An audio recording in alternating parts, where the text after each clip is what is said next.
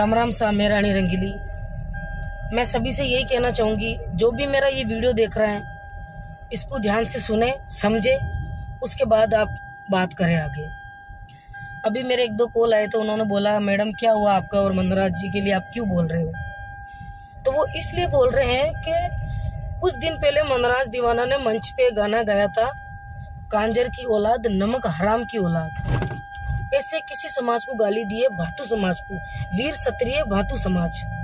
उनको इन्होंने गाली दी है तो मैं भी भातु समाज से बिलोंग करती हूँ। मेरे कॉल आए कि, रानी जी, ये मनराज दीवाना कौन सिंगर है जो भातु समाज के लिए अब शब्द मंच पे गा रहा है? तो मैंने बोला, भाई, मुझे वीडियो भेजो। तो मेरे पास वीडियो है।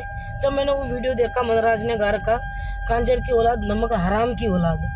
तो देखो, मनराज, ये गाली है। आज मैं किसी समाज के लिए ये वर्ड गाती ना तो मुझे भी माफ़ी मांगनी पड़ती।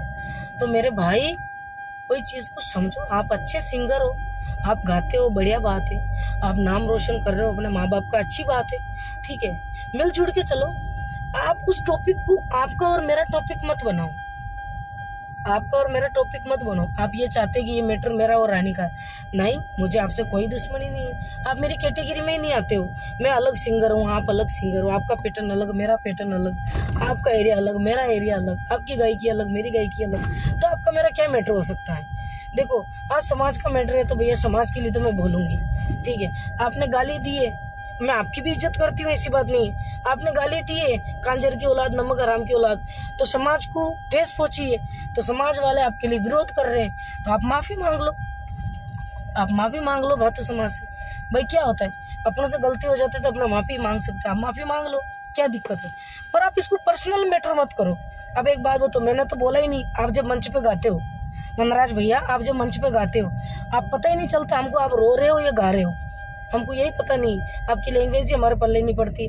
माइंड में बैठता ही नहीं, आप क्या वर्डिंग गा रहे हो? ठीक है? तो हमने तो नहीं बोला कि आप ऐसे गाते हो, आप क्या गा रहे हो, वो गा रहे आपने क्या बोला? प्राणी रंगीली तो फ्लो पे उपलो वो तुम्हारा जीव जानता है। वो तुम्हारा जीव जानता है। रानी फ्लो पे या चल रही है, ठीक है? इससे कोई डिफरेंट नहीं होता है। देखो, आपको चाहने वाले आपको चाहते हैं, हमें जाने वाले हमें चाहते हैं। ऐसी बात नहीं भाई। इसको आप ज़्यादा लंबा मैटर मत करो और ऐसी गलतफहमी मत फैलाओ पब्लिक में कि रानी जी मेरे से जलते हैं। नहीं। मैंने कभी किसी से ईर्षा नहीं रखी, कभी किसी से नहीं जली हूँ। ठीक है? मुझे किसी, कोई भी किसी से मतलब नहीं है। शायद इसीलिए मैं पच्चीस सालों से मार्केट में बैठी हूँ। मेरे को किसी से कोई जलन नहीं है। मैं बहुत अलग हूँ। मैं अलग गाती हूँ। मेरा हाल में मस्त रहती हूँ भाई। तो आप ऐसा मत करो, मनराज। आप पब्लिक